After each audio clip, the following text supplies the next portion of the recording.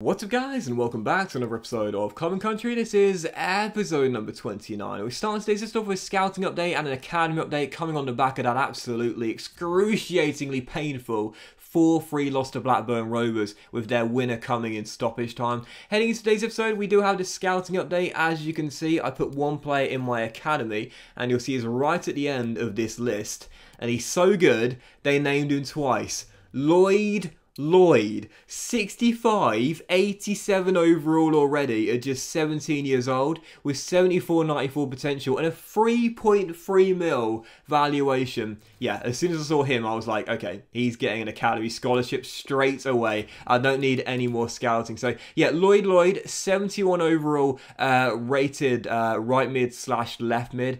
Great stats already technically as well. 85 dribbling, 80, 81 ball control, I think it is, or possibly the other way around but even so, 71 overall, 74 94 potential, and again, 17 years old, I couldn't wait. I thought put him straight in the first team, see how good he is, but I was a little disappointed to be fair. He only shows great potential. 71 overall, just 17 years old, but again, showing great potential. Now, don't get me wrong, again, very very agile, 82 agility, 84, 85 ball control, 81 dribbling, four star weak foot. You know, he's he's good. He's really good coming out of the academy. But it's not his current ability that concerns me. It's the lack of potential. As you see, our fixtures in November, four games coming all today. The Baggies, Barnsley, Sunderland away, and also Stoke away as well.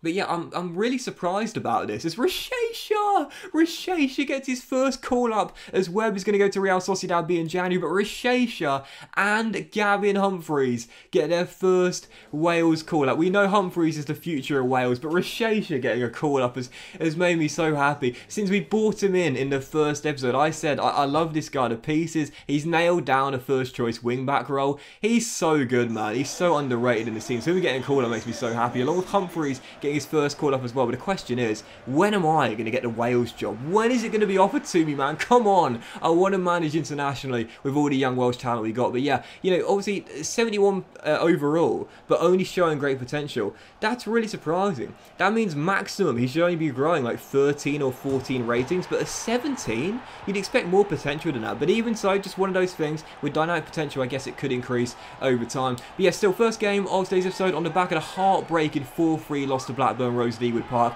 returning to Rodney Parade. Finally picks up our first win at home against Peterborough United in the last episode. Well, what a way to start this game. So early on into the match, how would you mark your first Wales call-up? How about scoring your third goal of the season? Gavin Humphreys, the future of Wales. He's a little lad. He's only five foot seven, but he's got desire. Three minutes into the game, gets goal number three for the season, and our number 10 gets us off and underway against the Baggies. Newport County 1, West Bromwich Albion nil, and a chance to make it 2 19 minutes in, which he almost did. Great save in the near post as we still led by one, but really fast start for Newport County, and it was a really great opening half an hour as well. These are one. This is one of those games of FIFA where it's just really, really fun to play. But we would see an injury 29 minutes in for Alan Bound. We've lost Davis to the broken toe, and now Bound goes down and stays down as well. Thankfully, he would soldier on, but it never shrugged the injury off. And 35 minutes in, in what was a brilliant first half here against West Bromwich Albion, Karlan Grant finds Grady Diangana. Quick little touch to get away from Payne, and a brilliant finish as well as Diangana levels it for the Baggies, and it's 1-1. But it was just such a fun first half. Did You know those games of FIFA that are just so fun to play? Even if you're not winning, even if you're not dominating, you're just really enjoying playing it. This is one of those games. Five minutes ago for the break, Karlan Grant denied by a great save by Price. It was still 1-1, but it was just such an open first half. I knew there'd be more chances. I knew there'd be more goals. And right before the break, we would find our leveller. Rubin Colwill heading into Gavin Humphreys' corner, making it 2-1, and Newport County are back in front. In the second half, after a really open first half, the game died down a little bit. It sort of ran out of steam. With 15 minutes to go, still leading by one. Sam Pearson receives the ball, rolls it through to Rashaysha, beats his man Reach, gets through. Can he finish? Yes, he can. Smacks it in. And talk about marking your first international call-ups in style. Humphreys gets a goal, and Rashaysha gets one as well. How cool is that to see them celebrate together as well? They're going to the Wales squad, and they've both scored in this game. 3-1 Newport County. Out 8 minutes to go as Sam Pearson off the bench is sent down the right by Matondo. Goalkeeper comes out. Bad decision because who's ghosting in at the back stick? It's Gavin Humphreys, the future of Wales, who turns in from close range, his fourth of the year.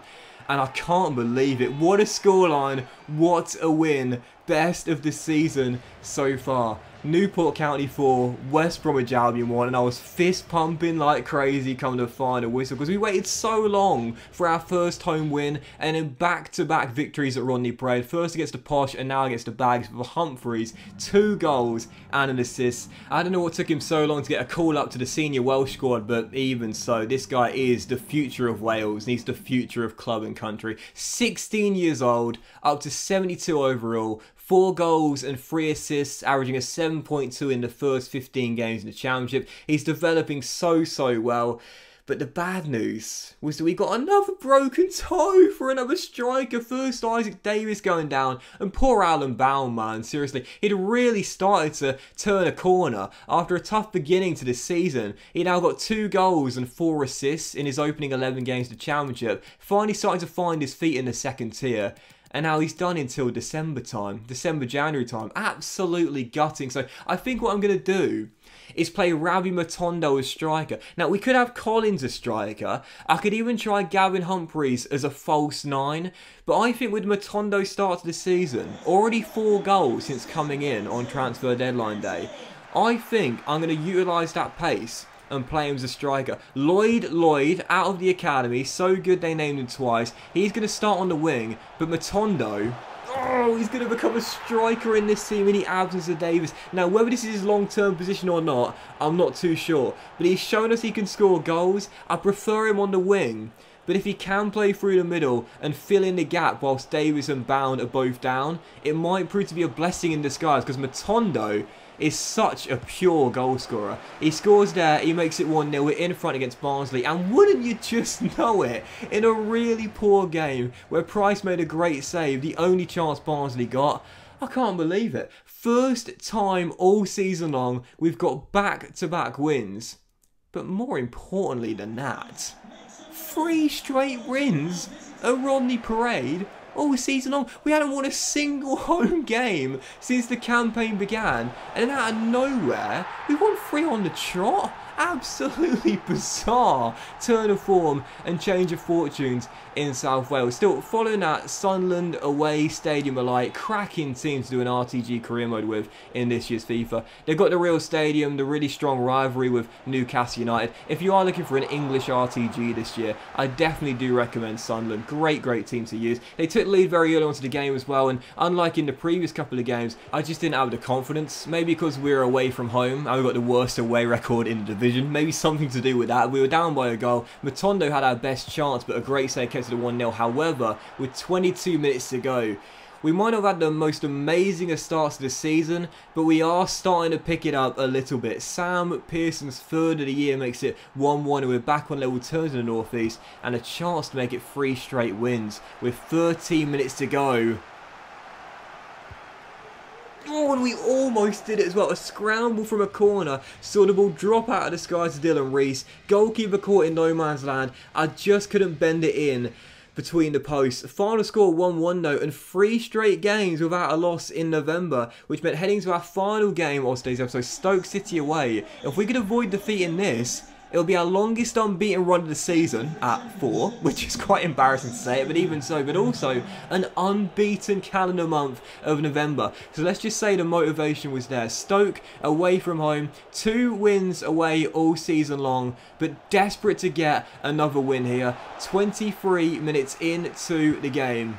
Oh, almost the lead. Chem Campbell firing just wide as it was still goals, but 28 minutes in, really bright start to the game. Attacking Stoke in the early, early minutes, looking for those chances. Rabbi Matondo trying his luck, his shot block, but Ben Davis drills one in for his first of this season, and we had the lead on Stoke City, and I just, I just, I just love this. Ben Davis running all the way to celebrate with me as we go a goal up. And, you know, I've mentioned it before, like, long shots in this FIFA, guys, honestly, if, you, if you're struggling to get inside and you're struggling to break the AI down, my number one tip, just let fly just have a go because goalkeepers in this year's FIFA, don't ask me why, but they're just really poor at dealing with long range strikes and the accuracy is really high as well. It's, it goes both ways, both scoring and conceding of course, but even so, Newport in front, Ben's first in the championship and we lead at Stoke City. As they tried to find level with five minutes to go, great save by Price, keeps it at 1-0 as we're still in front. I've got to say as well, he is really turning into a very good shot stopper between the sticks of 17 years old. So Stoke City 0, Newport County 1 and right for half time a chance to make it 2, which we would do. Matondo offloads to Chem Campbell